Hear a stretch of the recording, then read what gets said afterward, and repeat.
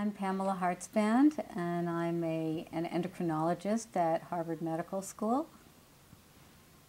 And I'm Jerry Groopman. I'm a hematologist oncologist also at Harvard Medical School. Understanding um, risks and benefits is a difficult proposition, not only for patients but also for health professionals. And one of the things that we found most important is understanding the difference between relative risk and absolute risk, or relative benefit and absolute benefit. And um, this is true not only for uh, advertisements, health um, uh, drug company advertisements, but also for research publications. Um, understanding that difference will help you make a much better decision. And on that vein, a relative risk is someone may say, for example, that this medication will reduce your risk of a heart attack by 30%.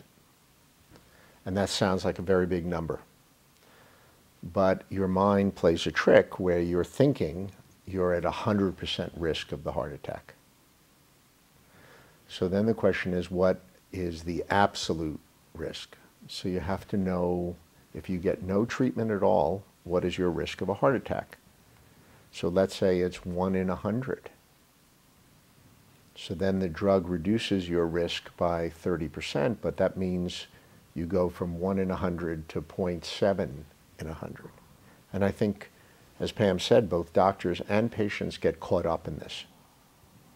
And so it's useful in looking at numbers and explaining to people making decisions that the absolute risk, what is their baseline risk with no treatment, and then how much does that treatment really benefit you in an absolute way, not in a relative way. And that's the number to really focus on.